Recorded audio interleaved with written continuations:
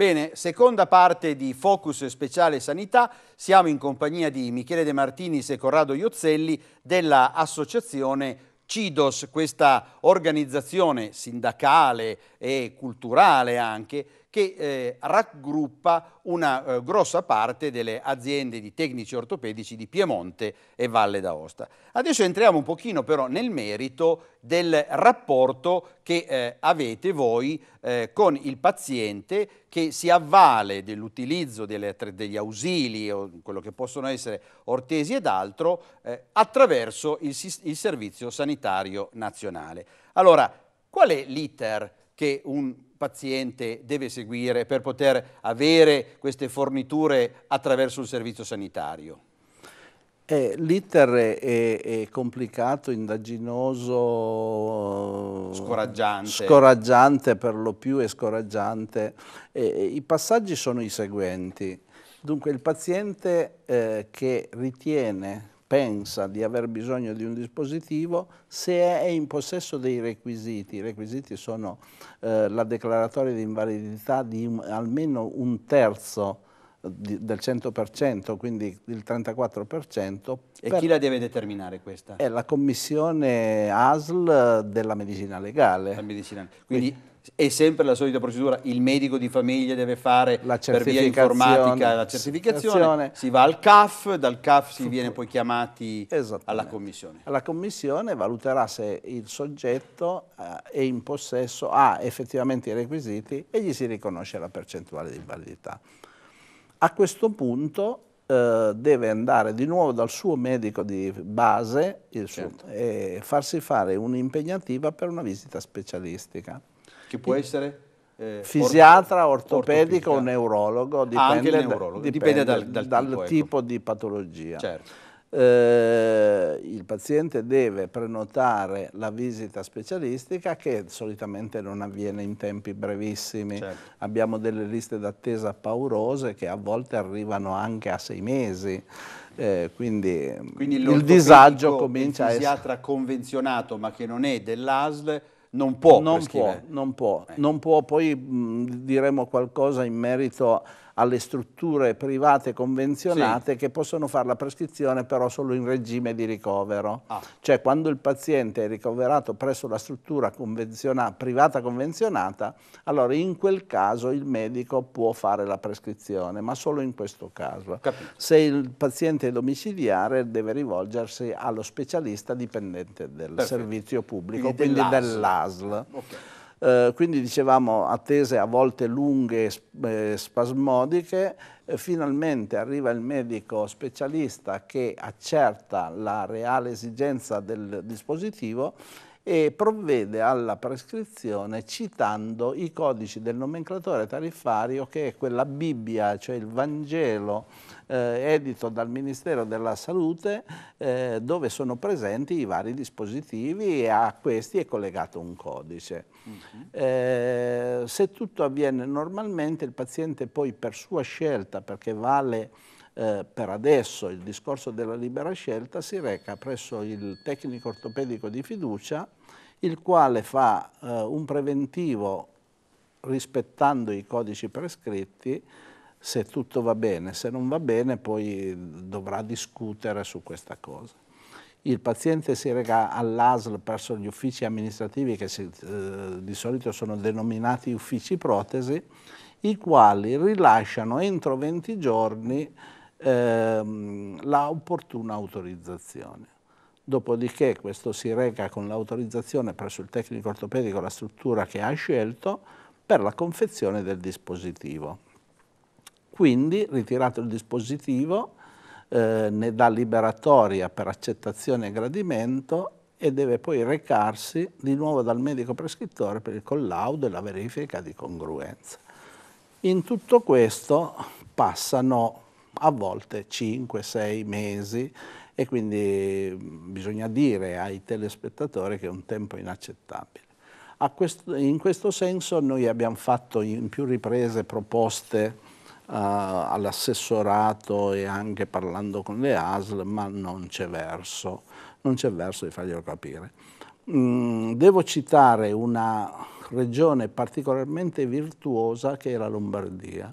in Lombardia hanno, trovato, hanno escogitato un sistema eh, per cui i tempi si riducono enormemente, ma non è solo quello.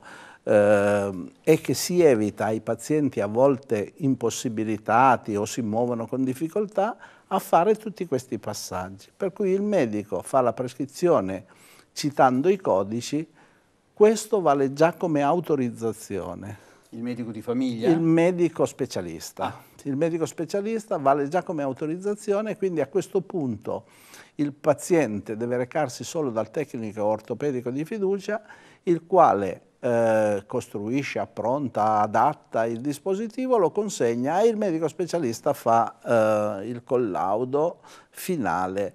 Eh, abbiamo abolito in questo sistema cinque o sei passaggi che sono un numero considerevole eh, di sbattimento, passatemi questo termine, i telespettatori... Sì, che magari sono anche persone anziane. Sono, ecco. sono persone anziane, a volte impossibilitate a spostarsi, non hanno la macchina, sono un po' come doloranti dire... magari. Ecco. Doloranti, reattivi alle code che a volte sono esasperanti e via discorrendo, quindi un sistema secondo me virtuoso che funziona molto bene. Ovviamente noi l'abbiamo proposto in più Piemonte, però per adesso non c'è, eh, non sentono. Ecco, ma non mi è chiaro, in questo caso l'ortopedico o il fisiatra in Lombardia sì. eh, fa la prescrizione anche sul paziente che non sia già in possesso dell'invalidità?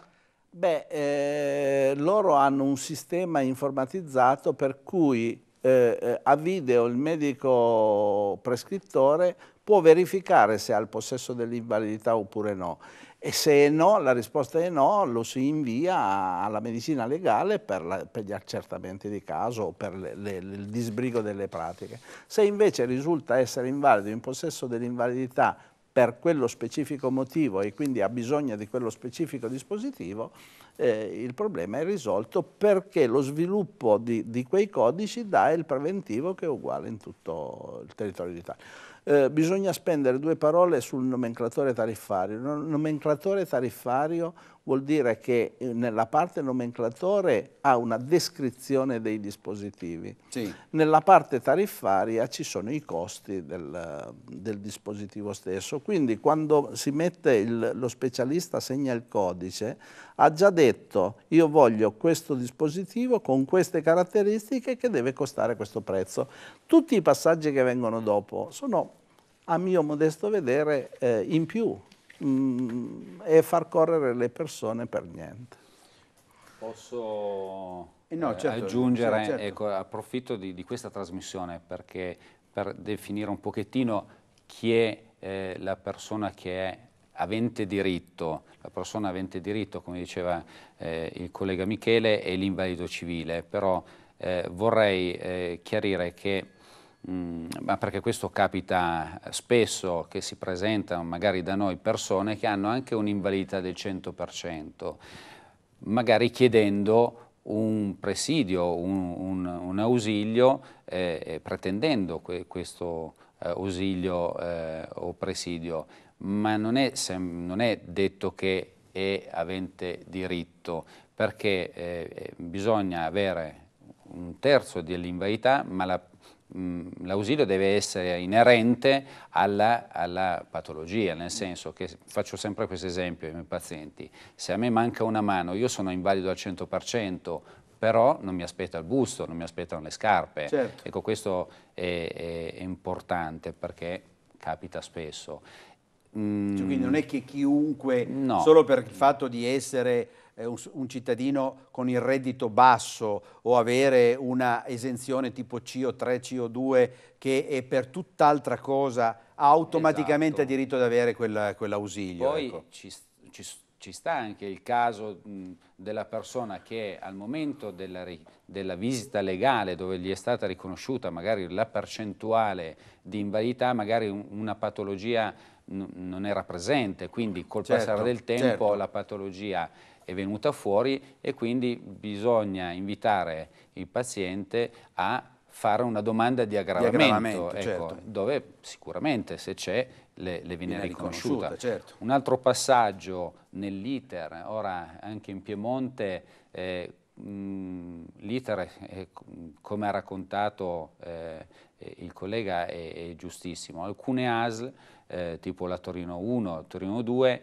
da, da gennaio del 2014 hanno eh, cambiato un po' questo sistema eh, per migliorare, però purtroppo eh, questo sistema è ancora non funziona. Eh, non funziona e spiego perché. Perché eh, alcune AS eh, hanno cercato di tagliare magari qualche corsa in più al paziente, all'invalido civile, eh, non portando più magari il preventivo fatto dall'officina ortopedica, eh, ma bensì eh, l'officina ortopedica deve mandare a livello informatico eh, il peccato che una grossa criticità è questa, che noi come laboratori, come officine ortopediche mandiamo, però molte volte queste mail non arrivano oppure eh, non, vengono lette. non vengono lette, quindi ci ritroviamo la persona che ha bisogno eh, de, de, magari di un busto, di una protesi, di un qualsiasi eh, ortesi, che torna da noi magari dopo un mese, un mese e mezzo dicendo, chiedendo giustamente allora, notizie, certo. persone che magari hanno solo quel paio di scarpe e hanno bisogno di un nuovo paio di scarpe. E eh, la nostra parte eh, sicuramente eh, è stata fatta, però dall'altra parte quindi all'ufficio, questi uffici protesi, eh, non è mai arrivato, non è mai stata letta, quindi una perdita di tempo in più, perché il sistema eh, funziona, sì. ma se, tutto, se tutti se fanno catena, ecco, il, loro, il, loro, dovere, purtroppo la realtà eh, attualmente non è, non è questa. Il sistema c'è, potrebbe funzionare bene, ma non funziona. Non funziona. Non funziona non, non, riusciamo a capire se è un qualcosa di voluto per far perdere del tempo, scoraggiare le persone, come diceva giustamente lei. Molte volte ci sono persone anziane che a un certo punto eh, lasciano, eh, perdere. lasciano perdere e, quindi... Eh, il problema è che poi lasciano proprio perdere, lasciano non, proprio non, è che se lo comprano, non, no, non se lo mettono. No, ecco. perché comunque magari non hanno la possibilità. Certo.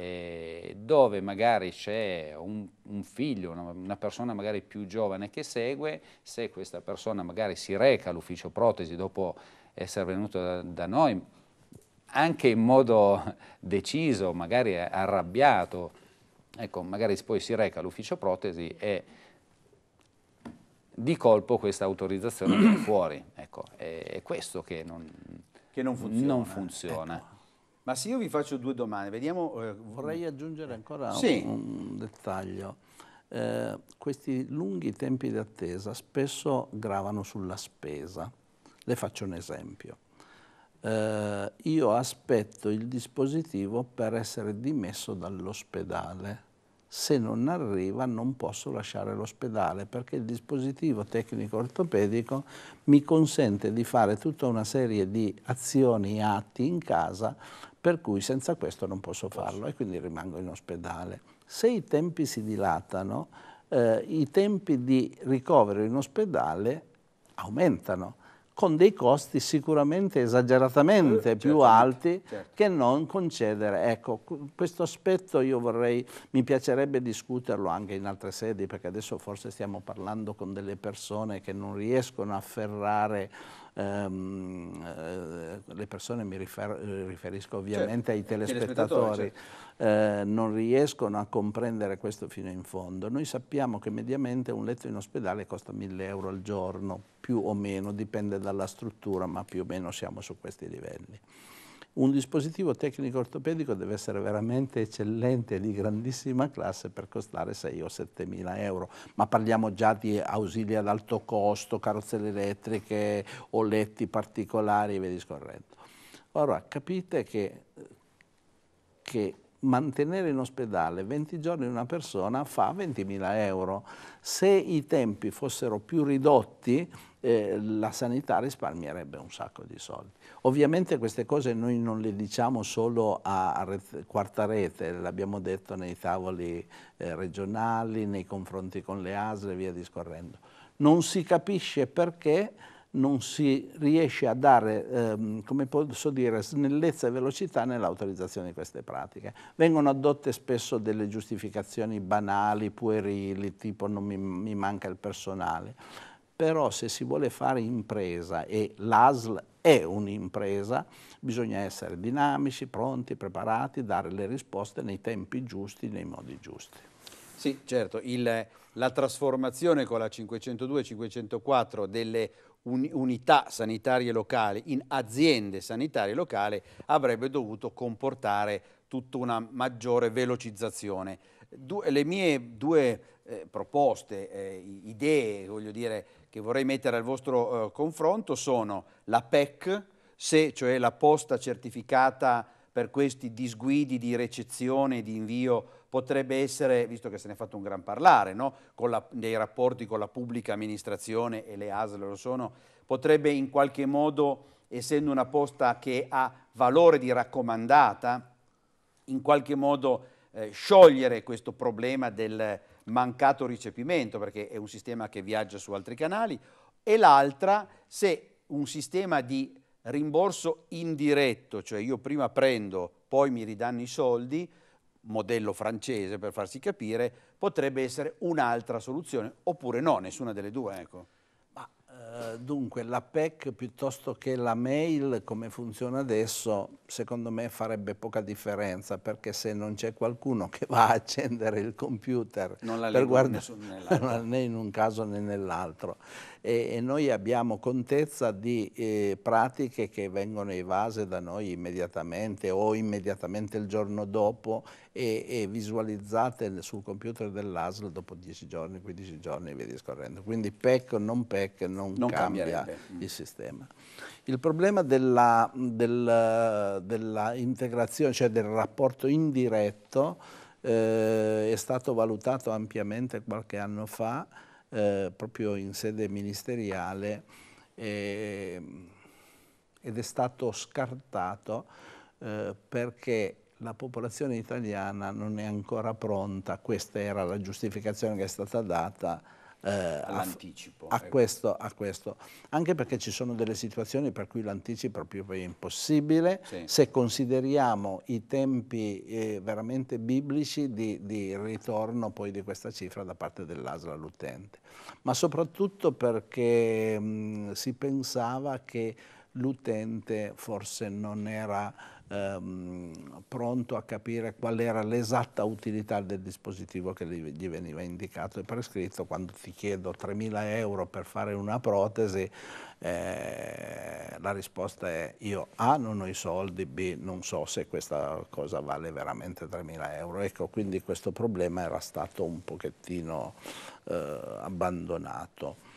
Uh, secondo me eh, il il problema vero sta nella legge 833 eh, sull'assistenza agli invalidi civili che eh, siamo in fase di eh, diritto, cioè chi ha i requisiti ha diritto.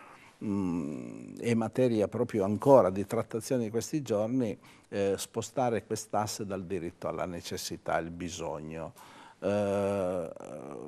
È vero che vengono penalizzati. Stiamo parlando della 833? Sì. Della legge di Berlinguer? Sì, sì, sì, eh. sì. Eh, quello che aveva trasformato 78, il, sì, il, sistema sanitario certo. nazionale. Eh, che è ancora attualmente in vigore sì, con, i, cardine, certo. con i, i, le varie modificazioni, poi i DPCM piuttosto che...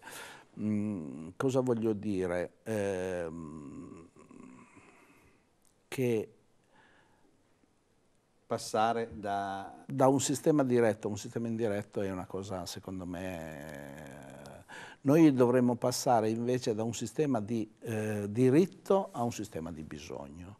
Il sistema di bisogno vuol dire che quando io ho bisogno ho bisogno, senza scadenza, senza termini e compagnia bella. È vero anche il contrario, che se non hai bisogno non hai bisogno. Certo, ecco. certo, certo. Eh, però le nostre imprese sono imprese eh, vere, eh, che vogliono agire in un mercato vero, non in un mercato artefatto.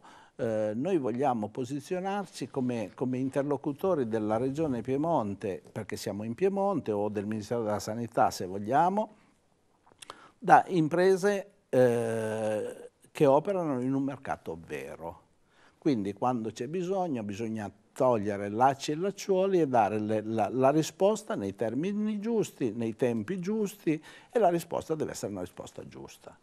Questo secondo me risolve tutta una serie di problemi perché noi abbiamo alcuni funzionari che viaggiano per obiettivi, quindi se loro raggiungono l'obiettivo hanno un incentivo. Certo. Eh, L'incentivo eh, li porta a fare qualsiasi cosa per raggiungere l'obiettivo magari anche, dico, qui lo dico e qui lo ripeto, esatto. non lo rinnego, rimane agli atti. Eh, secondo me la sanità non può viaggiare per obiettivi, deve essere un'organizzazione un, di leggi, di regolamenti che deve funzionare alla perfezione innanzitutto nell'interesse del paziente e tutti gli attori che ruotano intorno al paziente devono sapere, essere coscienti di quello che fanno nei modi e nei tempi. C'è anche un'altra questione che credo vi stia a cuore, i tempi di pagamento. Perché questo, per esempio, è uno dei problemi che i farmacisti sollevano, per esempio. Allora, quali sono i tempi per perché l'ASL provveda a pagare le, una protesi? Dunque, eh. noi abbiamo varie eh, sfaccettature su questo problema. Noi abbiamo le direttive comunitarie che dicono che l'ente pubblico deve pagare a 30 giorni. Eh, il Ministero della Salute ha fatto accordi perché questo avvenga nei 60 giorni.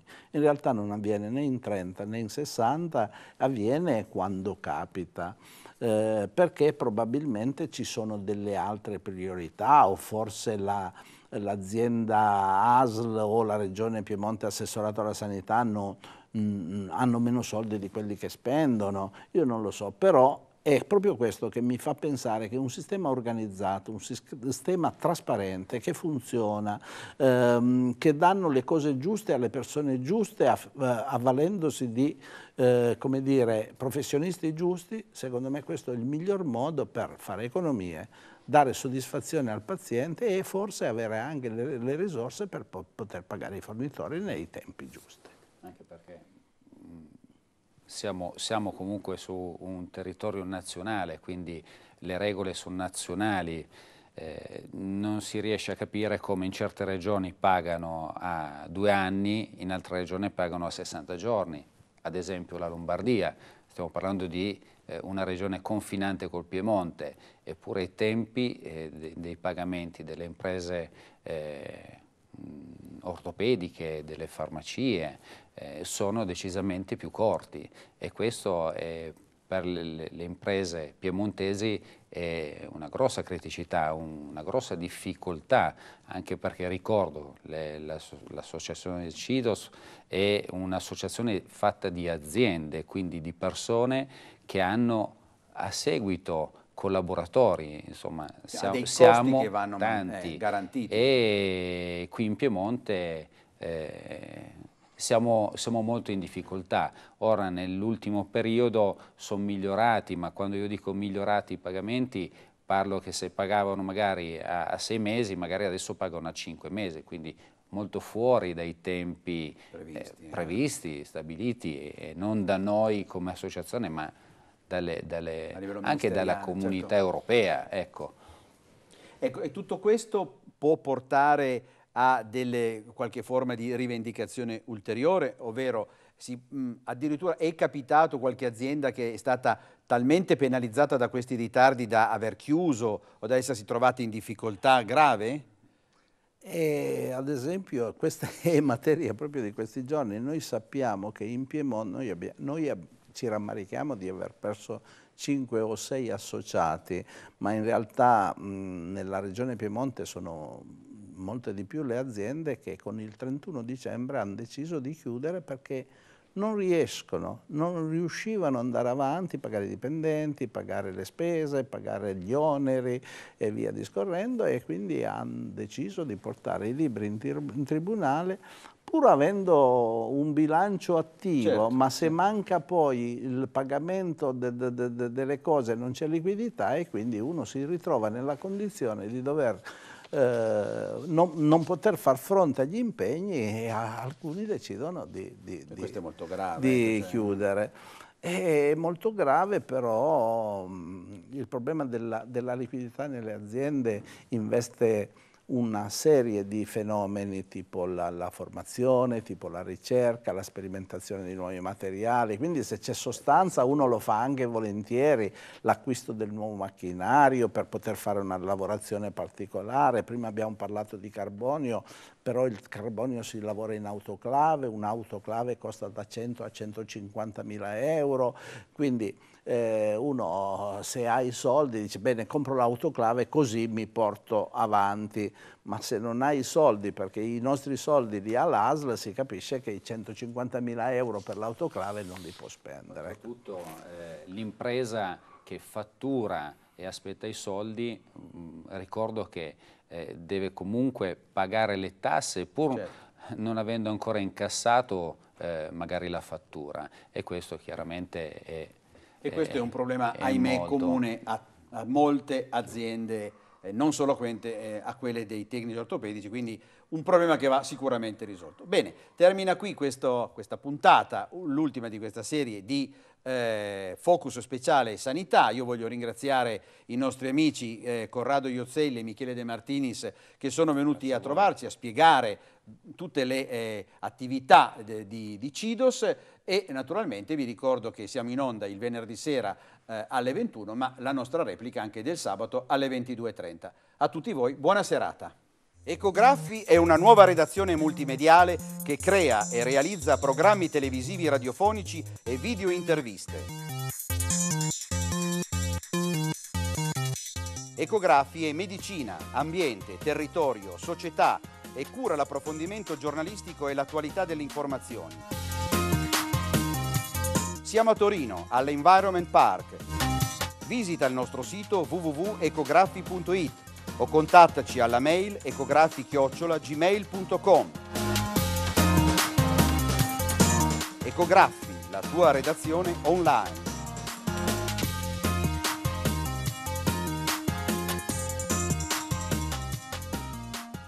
Cronaca qui, il tuo giornale ti fa vincere la Jeep. Corri in edicola solo con la